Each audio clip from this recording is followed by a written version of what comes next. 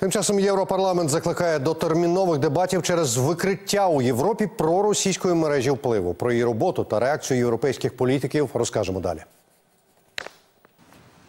Обшуки, затримання, допити, вилучення техніки та готівки на десятки тисяч доларів. Чеські та польські спецслужби за підтримки бельгійських силовиків провели спецоперацію, викривши проросійську мережу, що пропагувала російські інтереси в кількох країнах ЄС.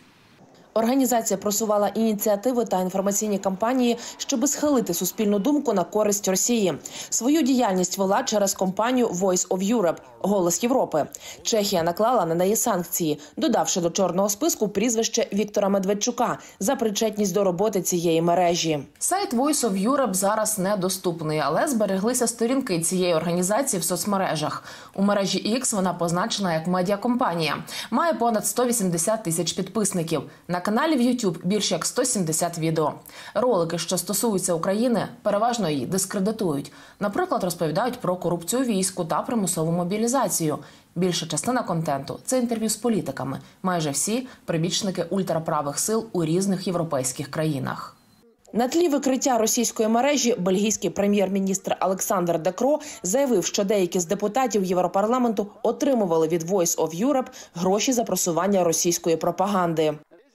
Між бельгійськими та чеськими службами розвідки відбулася тісна співпраця. Виявилося, що Росія зверталася до європейських парламентарів, а також платила їм за те, щоб вони просували російські наративи. Йдеться не про пересічних людей у соціальних мережах, йдеться про депутатів, які одержують гроші. Це тиск зовні, але це і співпраця з ним зсередини, зокрема і в нашій країні на найвищих рівнях демократичних інституцій, приміром у регіональному парламенті Бельгії.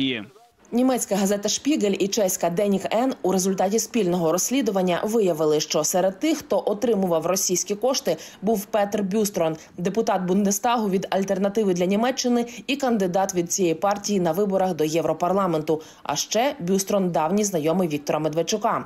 Інтерв'ю з німецьким політиком теж є на сторінці проросійської організації в інтернеті.